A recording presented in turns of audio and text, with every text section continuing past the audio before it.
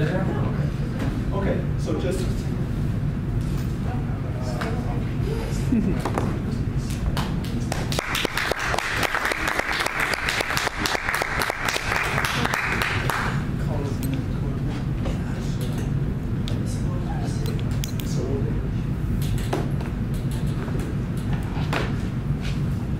Have you ever paused and asked yourself, when did I become the person I am today?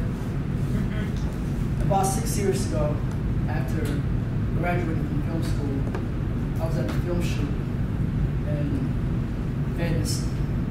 Not Venice, Italy, at Venice Beach. Mm-hmm. And I took a restroom break. And after finishing my business, washing my hands, I caught a reflection of myself in the mirror. And I had this big moment. I started tearing up. And I asked myself, when did I become the person I am today? I'm a storyteller.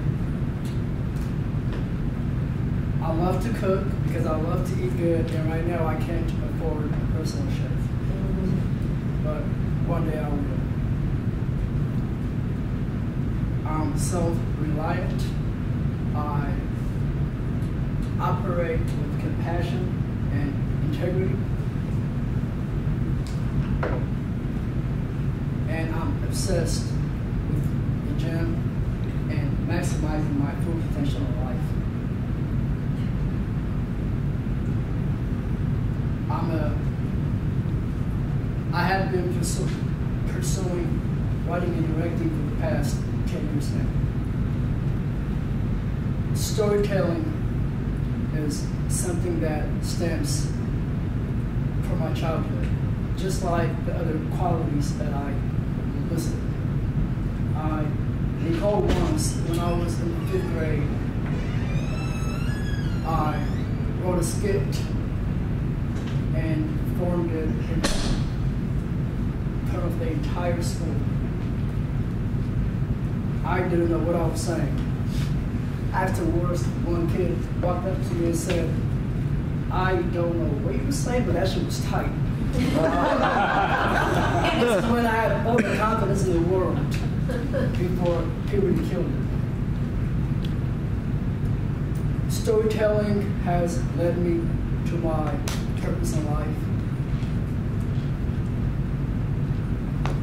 I went to UCLA, graduated from film school, and I have been pursuing writing, directing ever since.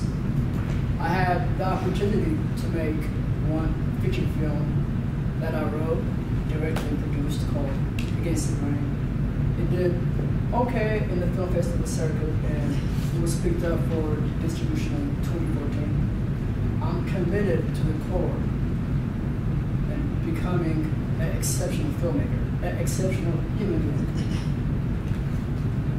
I write every single day. I have a weekly writing school that I host. And I'm looking to fund my next movie. So if y'all know any investors, let me know. Did I mention I love to eat? I eat so good, sometimes I feel guilty. I feel bad sometimes for one of my coworkers. He's always packing a peanut butter and jelly sandwich. You will never see me packing a peanut butter and, and, and jelly sandwich. Just like storytelling, my interest in cooking also stems from my childhood. As a kid, my mom was always working, and to be honest, I hated her, her cooking. So I used to cook for myself and my younger siblings. And it was then that I learned to become a self-reliant person. I dislike depending or relying on anyone for anything that gives me pleasure in life. Became apparent when, in the early stages of my filmmaking career, when I was relying on my colleagues or partners to handle the talking in business meetings because I was not comfortable speaking because I used to have a really bad stutter.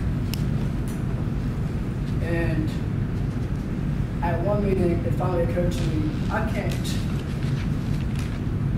rely on people to speak on my behalf because the majority of what's coming out of your mouth usually I feel like I could do a lot better and, and I don't consider myself a good communicator. So that's one of the reasons why I joined Toastmasters. Fitness, I love the gym. I have this theory that if I can't have full control over aspects of my life that only involves me, how can I have expectations or how can I have control over aspects of my life that involves other people?